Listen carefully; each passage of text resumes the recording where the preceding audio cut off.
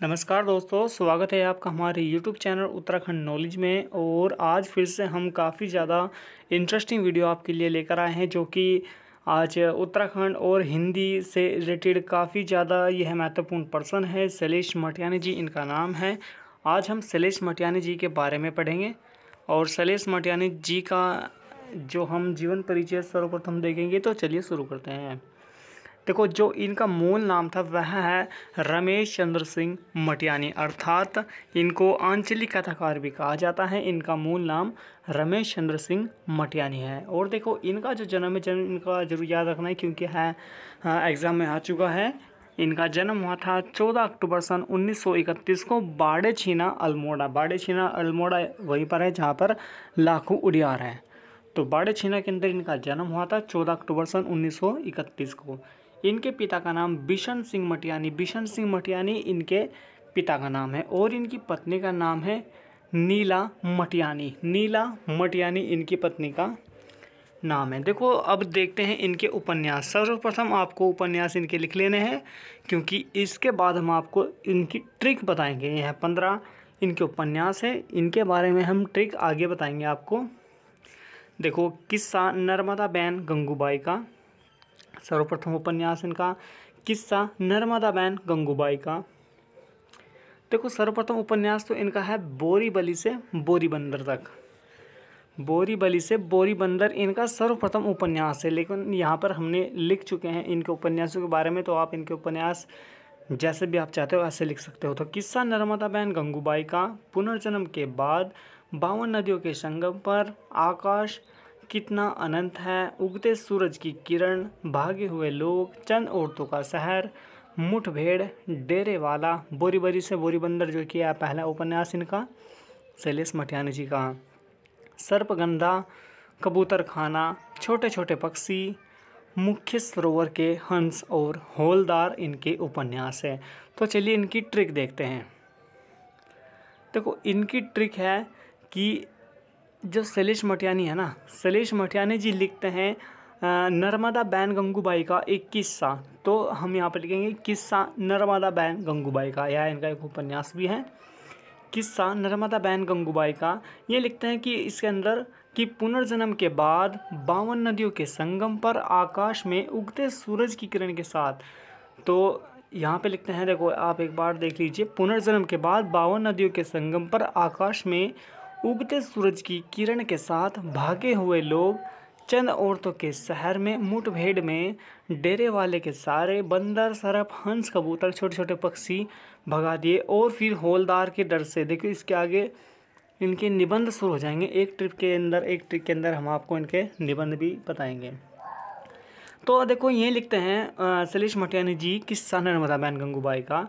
ये कहते हैं कि जहाँ पर बावन नदियों का जो संगम है ना, जहाँ पर बावन नदियों का जो संगम है, वहाँ पर आकाश में उगते सूरज की, आकाश यहाँ पर आकाश बना देते हैं। आकाश में उगते सूरज की, उगते सूरज के साथ, उगते सूरज की किरण के साथ, उगते सूरज की किरण के साथ भागे हुए लोग, कुछ भागे हुए लोग हैं यहाँ पर। आपको देखो, ठीक तो नहीं बनेंगे, पर बना सकते हैं। कुछ भागे हुए लोग मुठभेड़ में, यहाँ पर मुठभेड़ हुई थी, मुठभेड़ में सारे। चंद औरतों के शहर, देखो, यहाँ पर भागे हुए लोग थे ना, ये जाएँगे चंद औरतों के शहर में, ये एक शहर है।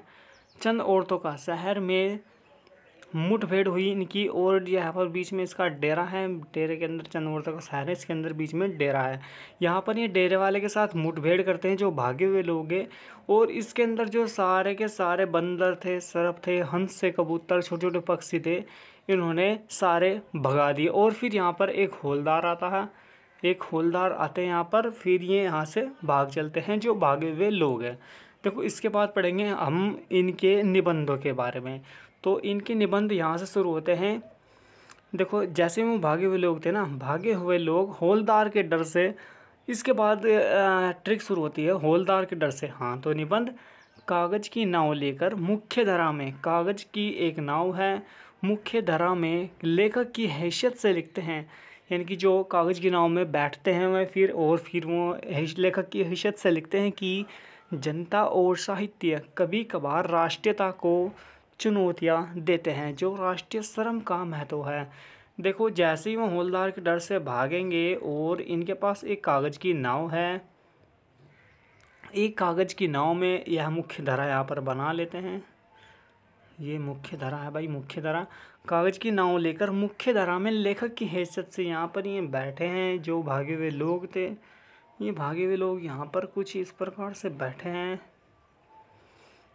मुख्य धारा लेखक हाँ मुख्य धारा में लेखक की हैसियत से अब ये लिखते हैं, इसके कागज़ी नाव के अंदर बैठे बैठे ये लेखक की हैसियत से लिखते हैं कि जनता और साहित्य, की जनता और साहित्य कभी कभार कभी कभार राष्ट्रीयता को चुनौतियाँ देते हैं, जो राष्ट्रीय शर्म का महत्व है। यह इनकी, इनके निबंध हैं। तो कागज़ की नाव इनका निबंध है मुख्य धारा का सवाल इनका एक निबंध है, लेखक की हैसियत से इनका निबंध है, जनता और साहित्य है, कभी कभार है।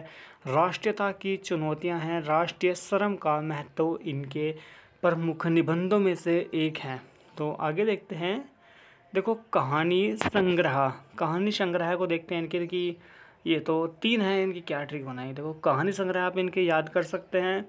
कि दो दो दुखों का एक दुख यानी कि एक सुख। जब दो दुख एक साथ मिल जाएँगे तो वह सुख हो जाएगा। अर्थात दो दुखों का एक सुख इनका एक कहानी संग्रह है। मेरी तैंतीस कहानियाँ मेरी तैंतीस कहानियाँ एक इनका आ, कहानी संग्रह है। जंगल में मंगल इनका कहानी संग्रह है। इनके बाल साहित्य को हम पढ़ेंगे। देखो सिंधु और गंगा बाल साहित्य सिंधु और गंगा चोहिया का दुल्हा रानी गोरैया इनका बाल साहित्य है, इनकी इनके बाल साहित्य हैं। इसकी ट्रिक मैंने थोड़ी बनाई है, वैसी हल्की सी है।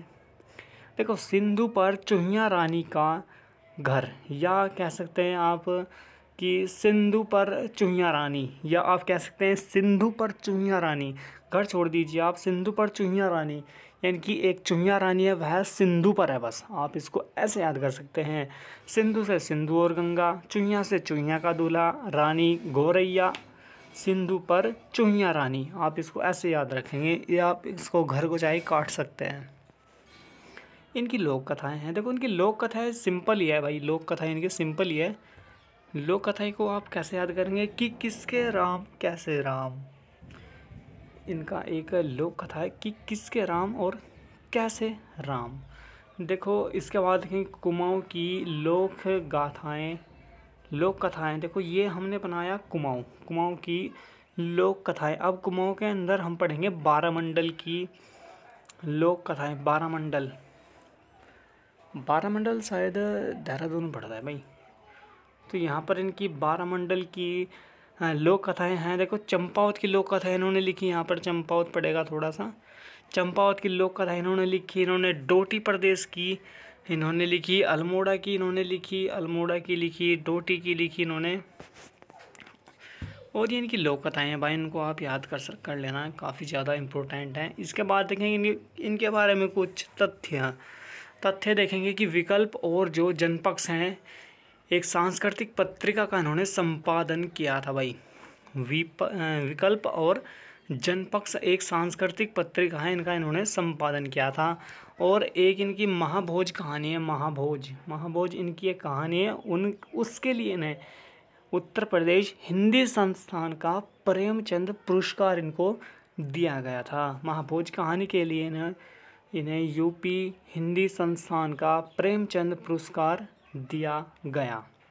और एक इनके मुठभेड़ मुठभेड़ मुठभेड़ के लिए इन्हें फंडेश्वर नाथ रेणु पुरस्कार इन्हें दिया गया। मुठभेड़ मुठभेड़ होती है इनके डेरे के अंदर, जहाँ पर हंस है, सर्प है छोटे छोटे पक्षी है, कबूतर है, इनको सारे भगा देते हैं। भागे हुए लोग हैं जो इनको भगा देते हैं डेरे वाले के। तो आई होप यह वीडियो आपको अच्छी लगी होगी। अगर भाई आपको वीडियो अच्छी लगी हो तो प्लीज़ यार इसको वीडियो को लाइक कर कर चैनल को सब्सक्राइब कर लीजिएगा। और ऐसी और वीडियो देखने के लिए हमारे चैनल को ज़रूर ज़रूर सब्सक्राइब कीजिएगा। धन्यवाद।